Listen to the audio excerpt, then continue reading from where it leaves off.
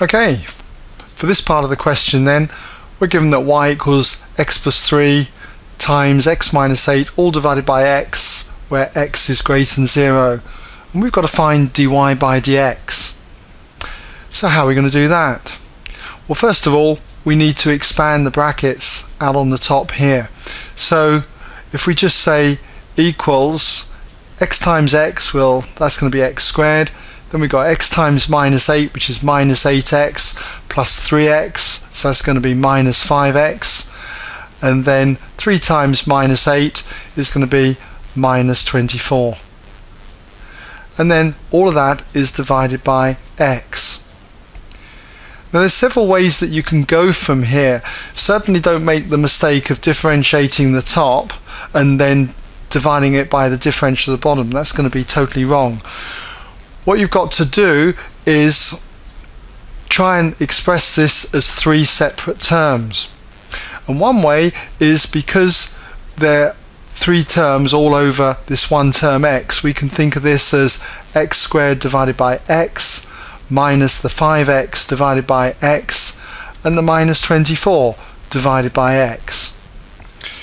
It's not the only way though. Some people might decide that they want to take an alternative route here. And I'll show you what that could be. You could come off this and think of this as x squared minus 5x minus 24 put that in brackets and you're multiplying this by 1 over x. And 1 over x is the same as x to the power minus 1 so you're going to have this as x squared minus 5x minus 24 times x to the power minus 1. We'll come back to this in a moment. But if you took this way, okay, by dividing each term by the x, then we can say x squared divided by x, that is x, minus 5x divided by x, the x is cancelled, just leaving we with minus 5 and for this one minus 24 over x. Well we've got to change this. We've got to change this into the form x to the minus 1 so that's 24 multiplied by 1 over x. Same kind of idea as this which is x to the minus 1 but if you had gone this way look you can get this answer.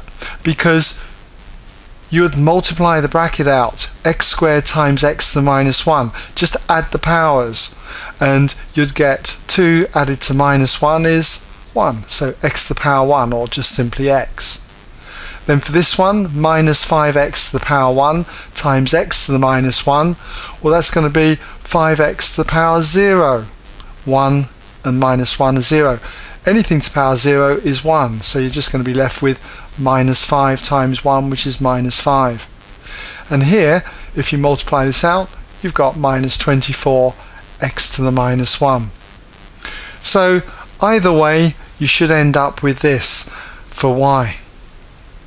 Now we just need to differentiate this and each of these terms is in an acceptable form for differentiating with respect to x. So dy by dx is going to equal, well, x to the power 1 is just going to differentiate to 1, okay? A constant goes to 0, and for this one, all we do is just multiply the power by the minus 24 so minus 1 times minus 24 is going to be plus 24 and then subtract 1 from the power. So that's x to the power minus 2 now it says write it in the simplest form and I wouldn't regard negative powers ever as being simple so we would want to change that.